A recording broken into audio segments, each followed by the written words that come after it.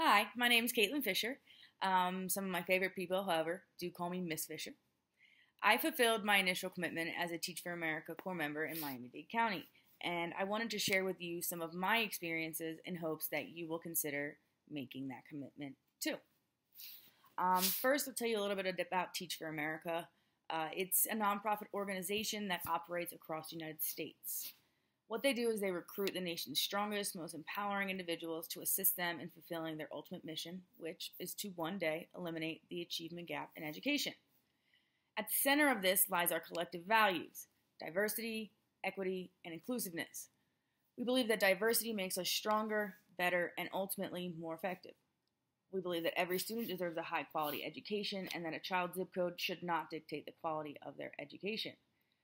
If you too share these beliefs, then I strongly encourage you to join us on this lifelong mission as a corps member.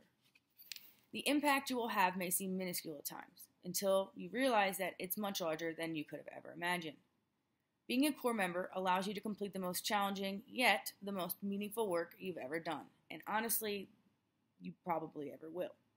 You'll appreciate how important education truly is, learn about the disparity regarding the quality of education children receive, and discover that the impact of one teacher can dramatically alter the life of a child.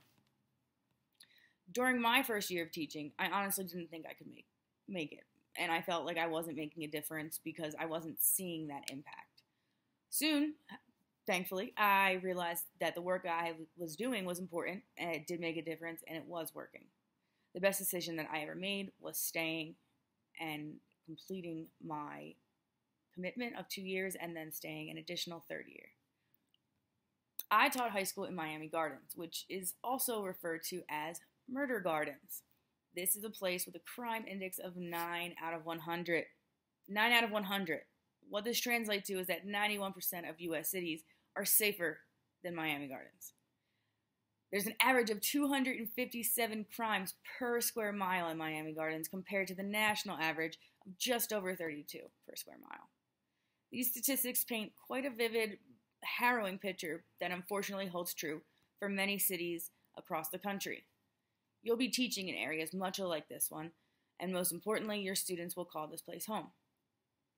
Only 14% of residents from my particular community um, have obtained a college degree, and that's where we come in. Um, your role as a corps member is to nurture and motivate these students to fulfill their potential as lifelong learners. You may need to be the driving force for a child who gave up because he was always told that he was stupid, he was lazy, and that he wasn't capable of amounting to anything. He may be so far behind, reading at a fourth grade level, sitting in your 12th grade science class, spelling college C O L L A G E.